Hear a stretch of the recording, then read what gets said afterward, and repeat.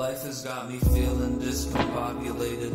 In place of common phrases, all I say are awkward statements in every conversation. Often sitting cautious pacing, dropping frames and talks with strangers, making observations in that awful cadence. I've been rather quiet since a sophomore. Every time my voice comes out my mouth, it sounds like nails on a chalkboard.